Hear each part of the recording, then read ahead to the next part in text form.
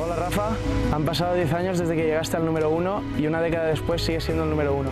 Por eso quiero entregarte este trofeo de parte de todos los jugadores de la Rafa Nadal Academy de Movistar.